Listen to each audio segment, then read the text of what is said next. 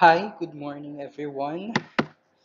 So this will be the first lesson for material science and engineering and this will be the introduction to material science and engineering. Okay, by the way, our reference book will be Material Science and Engineering by Callister, any edition, but I prefer the latest edition which is the 7th or 8th edition. Okay. First, we talk about the historical perspective of material science and engineering. Basically, when we talk about materials, these are objects that we use. So, literal na bagay siya. Materials are everywhere. Almost everything we use and every aspect of our daily lives is in some way or another influenced by materials. So lahat ng ginagamit natin, halos lahat ng ginagamit natin sa araw-araw, yun yung tinatawag nating materials from say yung cellphone mo, that is a material. Yung mga ginagamit nating panluto, yung damit mo, those are materials. And it is culturally more innate to us that the development and advancement of societies is closely related to the ability of the members of a society to produce and process materials to satisfy their needs. Ibig sabihin, para siyang kaakibat na ng culture natin. So, as you can see sa history, meron tayong tinatawag na Stone Age, meron tayong tinatawag na Bronze Age, meron tayong tinatawag na Iron Age. So, culturally and historically, kung ano yung gamit ng tao or nung mga naunang tao sa atin, kung anong gamit nilang materials, eh yun din yung level ng advancement nila or development ng society nila. Ganon sila kaunlad. So parang masasabi natin na kung gaano kaunlad ang isang society ay makikita mo dun sa mga materials na ginagamit nila. So nagsimula tayo sa Stone Age, wala pa tayong masyadong alam at yung mga ancestors natin is very limited lang yung um, mga bagay na kailang, um, kaya nilang gamitin. And most of it, yung naturally occurring or yung mga nanggaling lang mismo sa nature, kung ano lang yung nakita nila. So, yun yung Stone Age. So, kaya nga Stone Age kasi bato lang yung kaya nilang gamitin or minsan gumagamit sila ng kahoy, clay, mga balat ng hayop. Doon tayo nagsimula. And habang tumatagal, tumatalino yung tao. And because of that, they learn how to process materials. So, natuto sila at nadiscover nila na, ah, pwede palang ganito kapag ininit ko pala yung bato, pwede siyang matunaw or pwede ko mas magiging matibay siya. Ganun yung nangyari. As the time goes by, they discover techniques to create materials with better properties than those than that, those natural ones such as pottery and various metals. Soon, they discovered that materials properties can be altered, pwede nang mabago. For example, by heat treatments and by addition of other substances. Best But during these times, materials to be used are only selected from a limited set and only the best suited material by virtue of these characteristics is used for a certain application. So natutunan, natutunan ng tao mula sa bato, uh, na, na, na-discover nila na pwede ko palang gawin to para mas maging matibay pa yung material ko. Pero again, limited pa rin yung um, resources na tinatawag, yung pagkukuhanan natin ng materials. So ang ginagawa ng tao, kung ano lang yung pinaka the best material para sa isang certain function, yun lang yung ginagamit nila. Pero, approximately 100 years ago, nung meron ng mga scientists, na-discover na na um, nung naintindihan na ng mga scientists yung kinalaman ng structure ng materials ay related pala sa properties. Ibig sabihin, nakapag-create na tayo ng mga bagong materials dito sa modern age kasi nga nakita natin through various discoveries na pwede mo palang baguhin yung properties ng materials kasi kapag binago mo rin yung structure kasi yung properties and structure ng materials ay may kinalaman sa isa't isa. New materials like metals, plastic, glasses, and fibers have evolved to have specialized characteristics that satisfies the needs of our modern and complex society. modern technologies that make our lives so much easier are closely associated with the accessibility of suitable materials. Technology progresses every time we had an advancement in the understanding of a material type. and from then on, nung nalaman na nila na mayroong relasyon yung structural elements kung saan gawa yung isang material at saka yung properties niya, nagsimula ng maging modern na nakapag-create na tayo ng mga bagong materials, kagaya nga ng metals, plastics, glasses, fibers, etc. So, doon na nagsimula yung pagkakaroon ng tinatawag nating material science and engineering. Basically, ang material science and engineering, pwede natin yung hatiin sa dalawang aspects. We have the material science and of course, the material engineering. Although pinagsasama sila lagi, magkaiba yung function ng material science sa material engineering. When we say material science, it involves examining how the structure and the properties of material are related to each other. On the other hand, materials engineering is designing the structure of a material to produce a predetermined set of properties on the basis of the structure-property correlation. Si material science, pag-aaralan mo lang at obserbahan, obserbahan mo lang yung mga um, pre-existing materials na and how are they related to each other. Pero sa engineering, ikaw mismo yung magde-design. Okay, gagawa ka ng bagong material na nakadepende pa rin dun sa kung anong gusto mong gawin ng material o ng bagay. Okay, kanina ko pa sinasabi to, yung two words which is the structure and the property. So, ito yung dalawang words na kailangan nating maintindihan. Kasi they are almost the definition of a material. Pag sinabi mong material, okay, kailangan mong alamin anong structure niya and because of that structure, ano yung property niya. So ano nga ba ang structure? When we say structure, the structure of material usually pertains to the arrangement of its internal components. Saan siya gawa? Basically, yun yung ibig sabihin ng structure. Paano siya nagawa? Or ano yung laman niya sa loob? May pattern ba? Okay, gawa ba siya sa metal elements, non-metallic elements, etc. And pag sinabi natin structure, merong iba't ibang levels yan. Una, we have the subatomic level or the subatomic structure. Siyempre, kung ano yung nasa loob ng atoms mismo, subatomic. So it involves electrons with individual atoms and their interaction with their nuclei. Then, medyo mas malaking level, sa taas ng level na to, yung tinatawag nating atomic level, it includes the organization of atoms or molecules relative to one another. Sa subatomic, nasa loob tayo ng atoms. So, paano nag, uh, nag-interact yung laman ng atom? Itong atomic, paano nag-interact yung mismong mga atoms sa kapwa nila atoms? Then on a larger scale, we have the microscopic level. As the name suggests, kailangan na natin ng microscope. So makikita natin yung interactions between substances sa micros um, gamit ang mga microscope. So some types of microscopes. So dito, larger groups na siya ng atoms. So usually they are called molecules.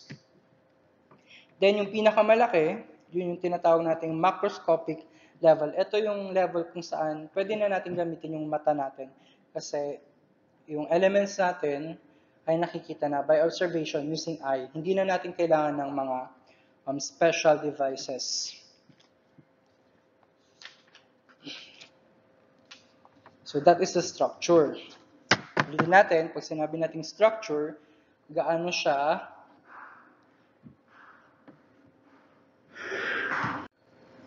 saan gawa or paano nagawa ang isang material. So, pwede natin i-divide yan sa five levels, subatomic, atomic, microscopic, ah, four levels lang pala, and macroscopic level. Then, another word or another important term, sinasabi natin yung tinatawag nating property.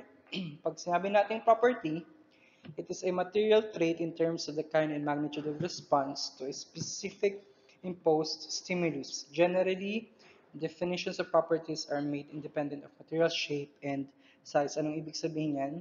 So, sa layman's term, pag sinabi natin property, is ito yung reaction ng isang bagay kapag natitrigger siya ng isang stimulus or reaction kapag natitrigger ng outside forces or outside factors. For example, kapag ininit mo, anong mangyayari sa kanya? Matutunaw ba siya? Mabilis ba siyang matunaw? O matagal ba siyang matunaw? Or for example, kapag nilubog mo siya sa tubig, uh, lulutang ba siya or lulubog? Yun yung mga tinatawag nating properties. Meron kang stimulus na iti-trigger mo yung material and titignan mo kung ano yung um, magiging reaction or response ng material. So, pag pinukbuk mo ba siya ng bato, mababasag ba siya o walang mangyayari o madedeform, yun yung tinatawag nating properties. Meron tayong iba't ibang types or categories ng properties. Basically, lahat ng important properties ay madedivide natin into madedivide natin into six categories. So we have the mechanical properties which are related to deformation due to an applied force. For example, elastic modulus, stiffness, strength, and toughness. So pag sinabi natin mechanical properties, deformation due to applied force. Force, gumamit ka ng puwersa. Kunwari, pinukpok mo. Nung pinukpok mo ba yung metal, uh, naipit ba siya, naging flat pa, o ano nangyari sa kanya? Yun yung mechanical properties. Pag electrical properties, related yan sa, uh, ang stimulus natin is electrical field.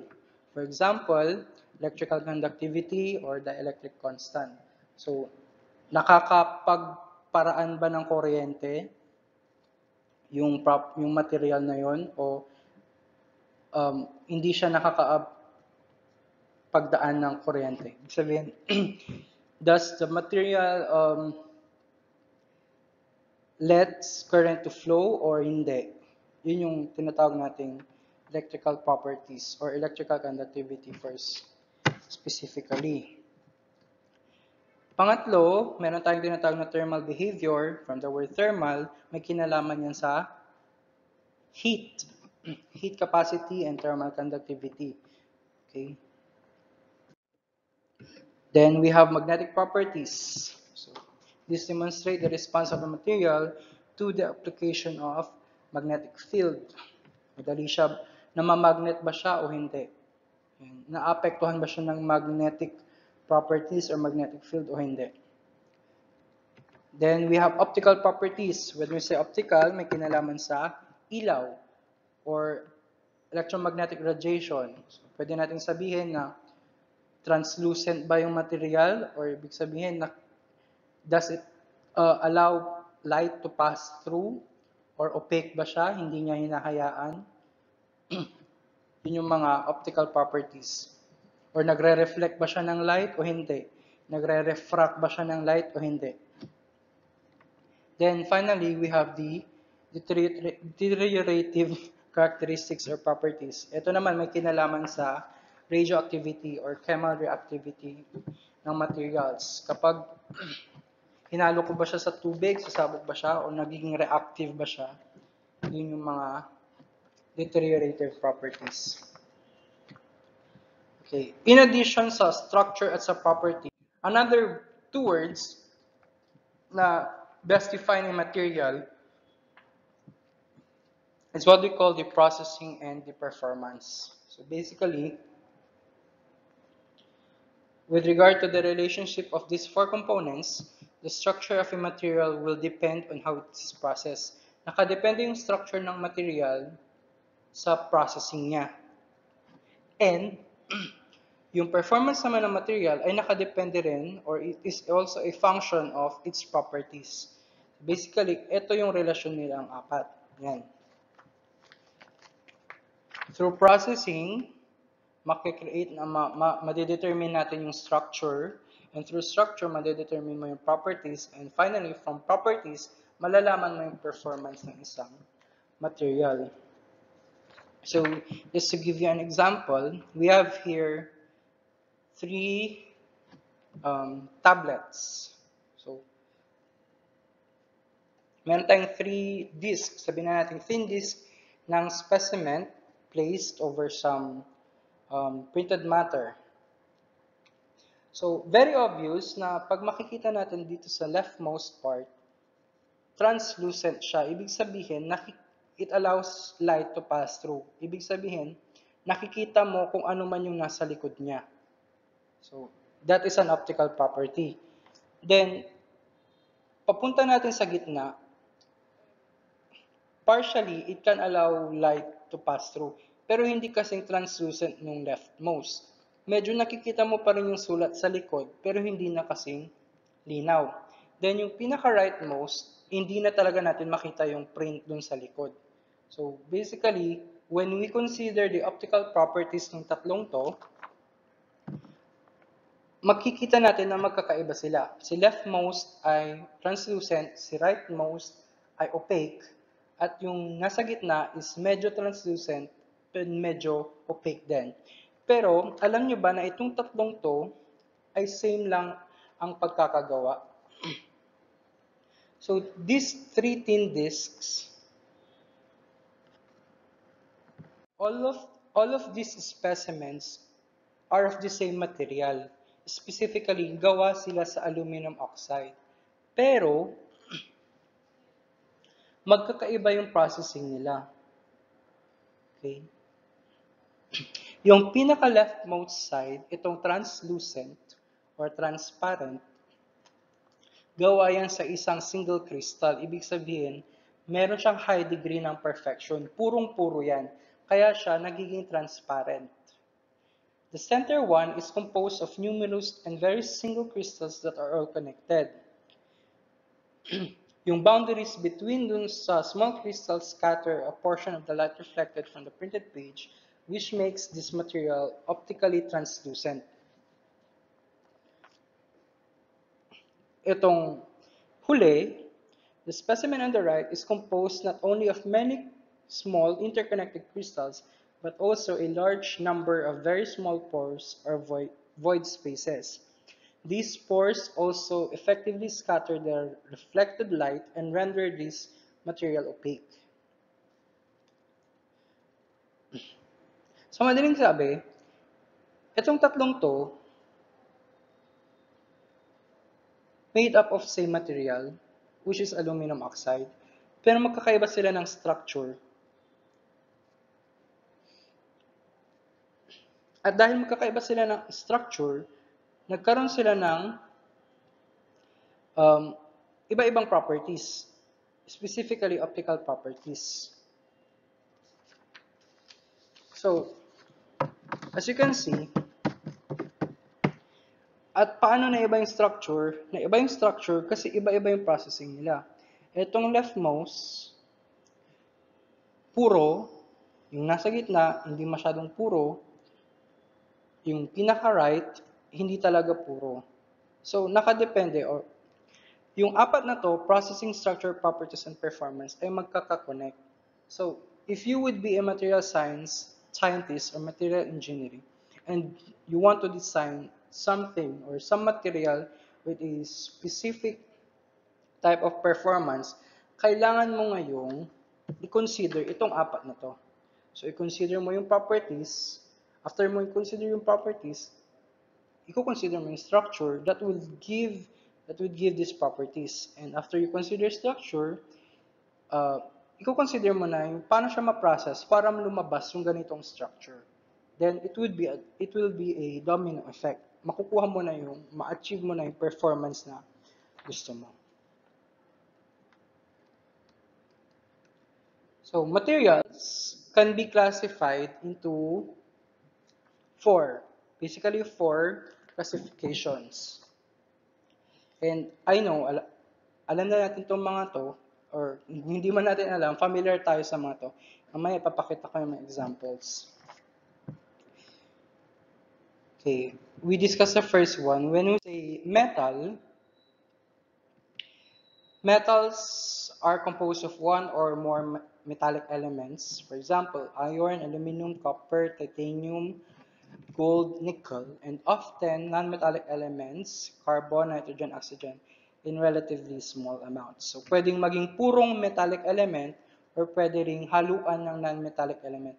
Yung mga nahaluan ng non-metallic elements, ang tawag natin doon, metal alloys. Alloy, A-L-L-O-Y-S. Kapag meron siyang halo na carbon or non-metallic elements, pero konti lang yung pagkakahalo. Mas marami pa rin yung metallic elements. So, anong properties ng metals? Yung atoms nila are arranged in very orderly manner and compared to the ceramics and polymers, they are relatively dense, mabigat. Kasi nga, naka-arrange sila in orderly manner, meron tayong crystal structure, yun yung tawag natin sa orderly manner. Crystal structure at dense siya, mabigat. Dahil nga mabigat at meron siyang crystal structure, ang nangyayari, nagiging stiff siya and very ductile. Ibig sabihin ng ductile, kaya niyang, um, pwede mo siyang applyan ng malalaking puwersa, large amounts of force. Magde-deform siya, pero hindi siya masisira, hindi pa siya magpa-fracture. And are resistant to fracture. Kaya nga, yung mga metals, di ba, usually ginagamit sila sa mga um, buildings, sa mga uh, structural components ng buildings. Pag magpapatayo tayo, magpapatayo tayo ng bahay, laging merong metal sa loob kasi yun yung pampatibay. Kasi nga, ang metals, matibay talaga sila. They are also extremely good conductors of electricity and heat. So, kung mapapansin natin, yung mga kitchenware natin, for example, yung kaserola natin, gawa yan sa steel, which is a metal. Pag inawakan mo, mapapasok ka kaagad kasi nga, they are good conductors of heat. Then, good conductors din ng electricity. Pag uh, kinaskas natin yung wire ng charger natin, makikita natin merong copper sa loob. Copper is a metal. They are used for conducting electricity. They are not transparent to visible light. So, ibig sabihin, halos lahat sila opaque. So, they do, they do not allow light to pass through. But some of the metals have desirable magnetic properties like iron, copper, and nickel. Ibig sabihin, meron silang namamagnet sila, pero hindi lahat. Some lang. Yan lang yung mga yun.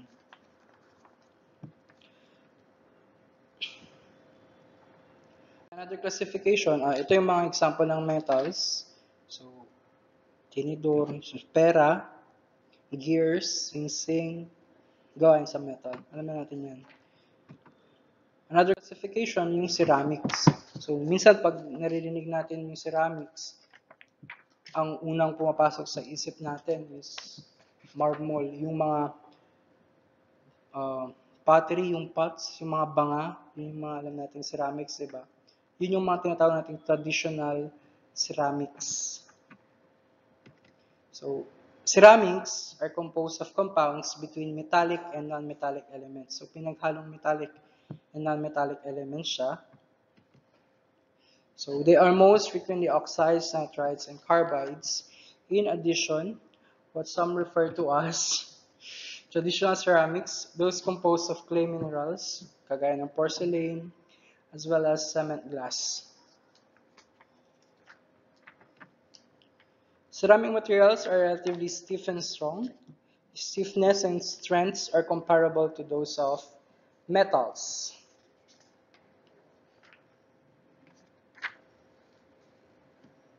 And they're also very hard. Pero, they are extremely brittle and they are highly susceptible to fracture. ibig sabihin, nababasag sila, brittle. So, oo, matigas sila, stiff sila, strong sila, pero madali silang mabasag. Hindi kagaya ng metal, na kahit apply natin ng force, halos hindi siya nagde-deform. Pero sa ceramics, hindi nga siya magde-deform, pero mababasag siya. So, nagkakaroon ng fracture. Then, ceramic materials are typically insulated to the passage of heat and electricity. So, kumpara kay metal, si metal, um, good conductor sila. Ibig sabihin, pag pinandaanan mo ng heat, ng electricity, pwede mo, uh, nakaka-flow yung heat and electricity sa kanila.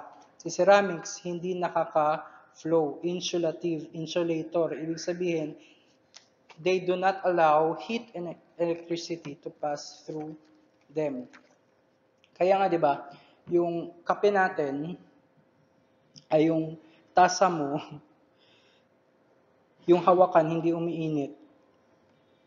Pero yung katawan umiinit. Kung nasan yung kape. Pero kapag ginawa mo yung metal, lahat, pati yung hawakan, metal, dadalo yung init. Yung sa hawakan, mapapasok ka. Pero pag ceramics, hindi.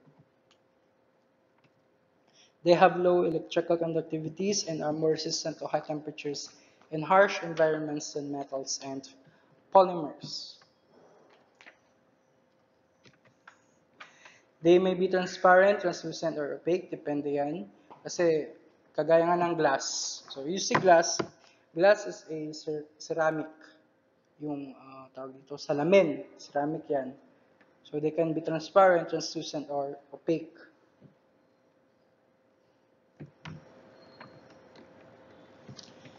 And some of the oxide ceramics exhibit magnetic behavior. Itong classification, ah, ito, examples ng ceramics.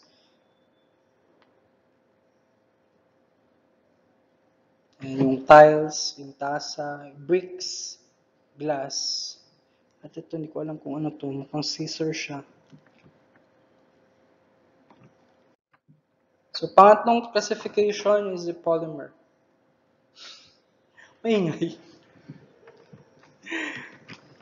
Polymers include the familiar plastic and rubber materials. Yung mga taong plastic, gawa sila sa polymer. They have very large molecular structures. So parang chain-like in nature. Meron silang backbone na carbon atoms.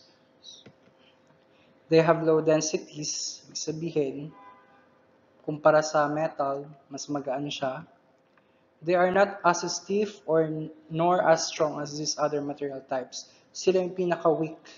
So, in terms of stiffness and strength, sila yung mga pinakamababang um, stiffness and strength. But they are very extremely ductile and pliable, which means they are easily formed into complex shapes. Sabihin, pwede mo siyang i-mold.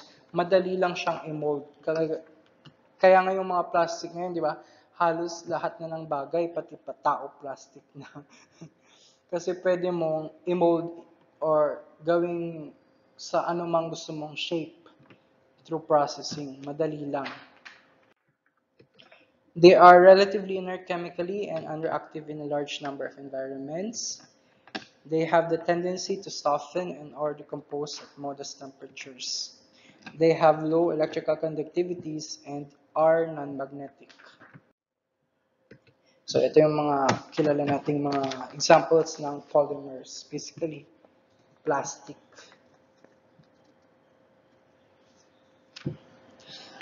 Then we have the um, last classification of material, we have the composites. Pag sinabi natin composites, pinaghalo siya dun sa naunang tatlong classification. Pinaghalong metal, ceramic, and polymer. So kahit ano doon, pag pinagsama ko sa metal and ceramic, composite ang tawag. Pag pinaghalo ko si metal and polymer, composite ang tawag. Pag pinaghalo mo si ceramic at polymer, composite ang tawag. Basta kapag pinaghalo mo yung naunang tatlong classification, composite ang tawag doon.